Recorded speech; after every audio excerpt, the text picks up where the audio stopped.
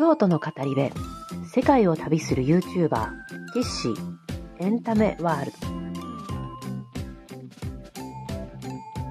今日は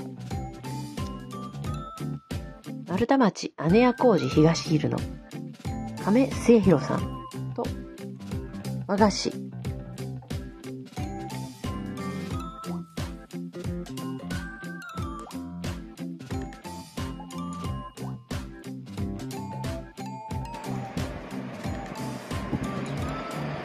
築100年の家屋が迎えてくれます。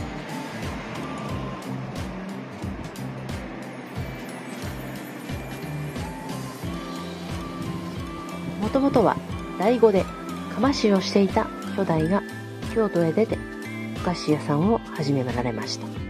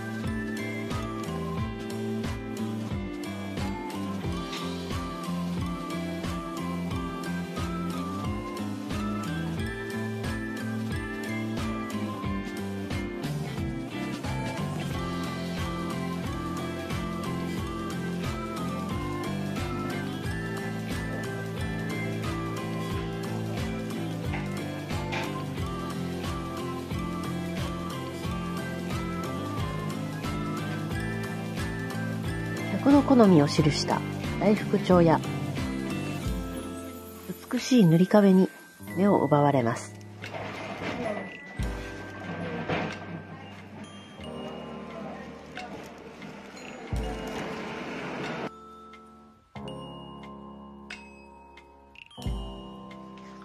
はい、皆さん、こんにちは。キッシーです。京都の語り部、世界を旅する YouTuber、キッシーです。最近、キッシですね、料亭ばかりなくて、あの、京都のですね、和菓子のいいところをですね、どんどん報告していこうと思ってましてね、今日は、あの、亀屋末広さん、姉工事の、姉屋工事のですね、えー、この、プラスマ通り姉屋工事の角を東へ入っていたところにございます、お店なんです。で、ここをですね、うーん、これ見たところこれ、ちっちゃいもんですけどね、そう見ていただきましょう。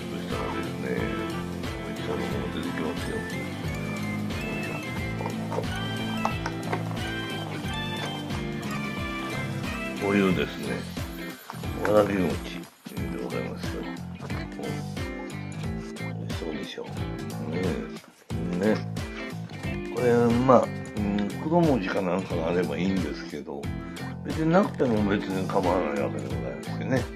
これをこう、指で、うん、うん、つまんで使わせていただこうと。こういうことになっております。はい。じゃあ、こう、これを。うん、このきな粉の、うん、うん、匂いもですね、大変よろしくございます。はい。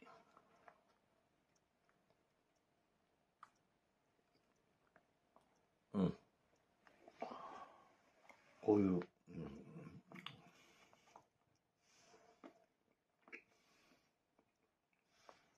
うん。う口になっておりますよ。大変面白い。これからの、だんだん、暑くなっていきますんで、うん。いいシーズンでございませんでしょうか。はい。